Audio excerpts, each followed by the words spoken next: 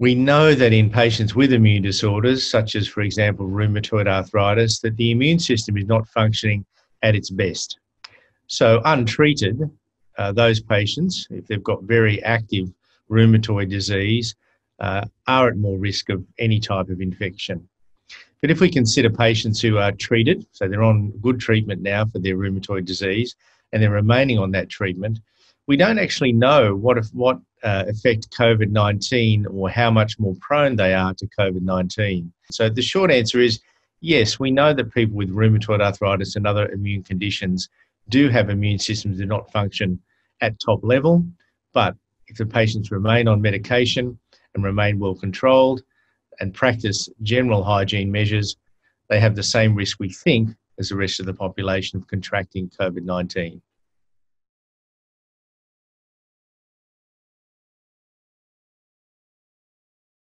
For patients with inflammatory conditions, with arthritis, uh, my message, and I think the message that this is the message from the Australian Rheumatology Association and from associations around the world, is to practice the usual measures that other people within the population are, and that is social distancing, washing hands, all the things that you're all well aware of. There's no need to wear masks at this point in time, and unless that advice changes, we're advising people not to wear masks unless they are unwell or unless they're around people, such as if you're a health worker and you are around people who are unwell, then it is important that you do wear that. But we're advising for the general public not to wear masks and to practice the usual measures that have been prescribed for the general population, and you don't have to take additional measures.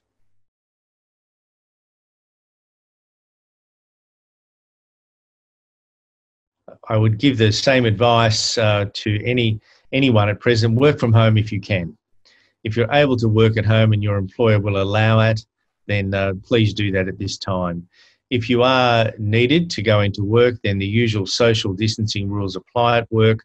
Um, zoning in some rooms is helpful. That's a, a process where people are in different zones and they don't move from those zones. And having different teams working at different times, or what a lot of my patients are experiencing with their employers. Short message try to work from home if you can.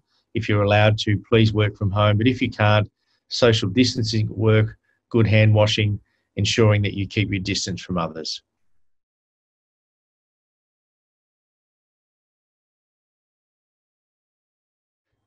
The important message around medication is really to continue medication. And that advice is coming through strongly from the Australian Rheumatology Association, the American College, the European League Against Rheumatism, the European College of Rheumatology.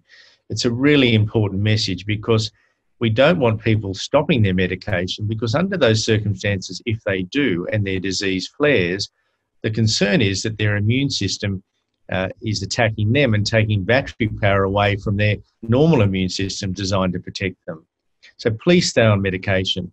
If you stop medication, we don't know really if you would be at decreased risk of contracting coronavirus, um, but we can base our, I guess, our, our evidence or our statements on previous flu epidemics where we don't see increased risk to patients on biologics. So, the important message please keep taking your medication. If you become unwell, withhold your medication and discuss with your rheumatologist.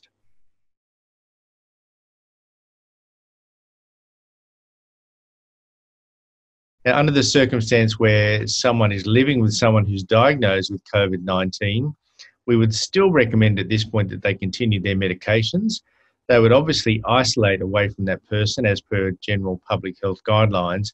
If they developed any symptoms at all, then we would ask them to cease their medication and contact their rheumatologist. And the, the aim would be to keep them off medication until they recover. And obviously, they would undergo testing during that period if they met the requirements to determine whether there was any evidence of COVID 19. So the short answer is keep going with biologics unless you become unwell.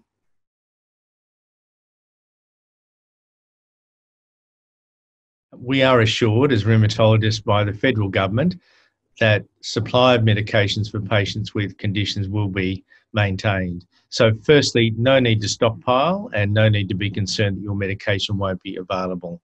I'll make a comment around Plaquenil, hydroxychloroquine, which is a special case. There has been a high demand for this inappropriately. The government has now changed legislation to make it clear that only physicians or physicians who are prescribing for patients who need this drug, who have lupus or other arthritic conditions, can prescribe. So we will, if you are having problems getting Plaquenil at the moment, we will see that balance restored fairly quickly and Plaquenil will be available once again for you.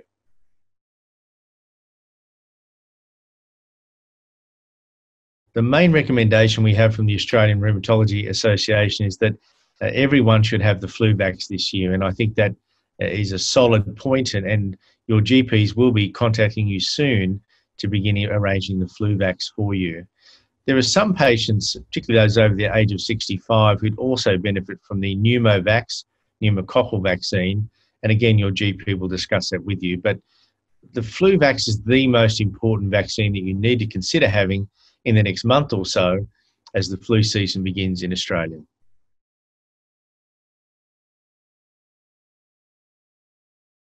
Face to face appointments cause concern, I think, for patients and doctors alike. And so there are a number of measures that are in place to protect patients so that they're not exposed to COVID 19 or any other infections if they do need to attend their rheumatologist.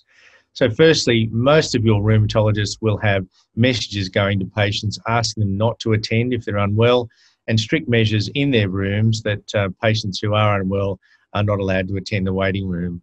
You'll also find in most rheumatology rooms, or, or in all of them, there are adequate alcohol sanitising uh, facilities, and patients are spaced out within the waiting room as per guidelines.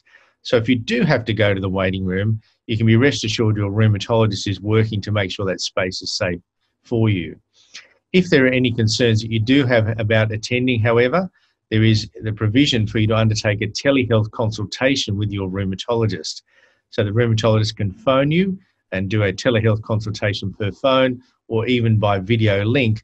So short answer there is if you need to see your rheumatologist and you need to go into the rooms, you can be assured that your rheumatologist is working to ensure your safety if you can't come into the rooms or you're concerned, um, then you can undertake a telehealth consultation by video or by phone.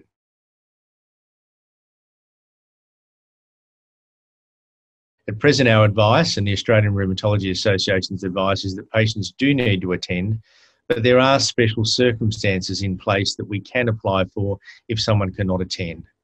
So, if you absolutely cannot attend your rheumatologist rooms for your biologic prescription, you should let them know and your rheumatologist can make a special application to the government to ask them to reconsider the decision on personal attendance.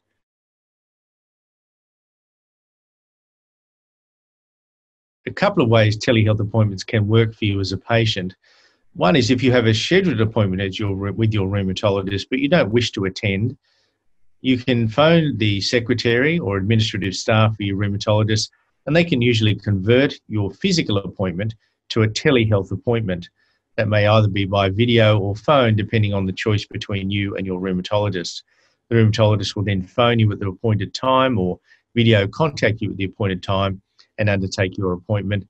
The other way is that if you are feeling unwell or you need a consultation with your rheumatologist but you don't want to attend the rooms, you can phone the rooms. And certainly, what we do here is people, patients will phone, and our administrative staff will put them in as a teleconsult and we know that we ring them to discuss their case with them. So, for patients out there who are feeling isolated and feeling they can't get in contact with their rheumatologist, telehealth is a really good way at present of us being able to keep in contact with you when you physically can't attend the rooms.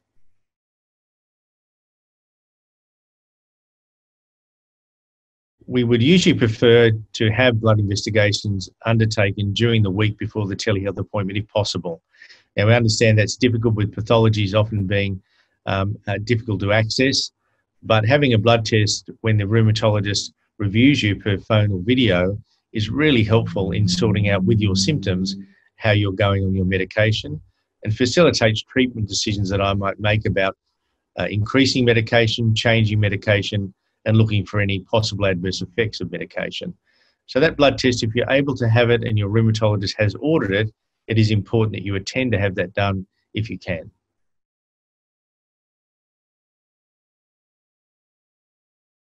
Four really good sources of information in Australia at present. The Australian Rheumatology Association has excellent information on its homepage uh, for patients. So please visit that uh, that web address, Australian Rheumatology Association. The Arthritis Australia website is also a very useful source of information. And there are two patient organisations, Creaky Joints Australia and MSK Australia. Both of these also have very useful information available to you.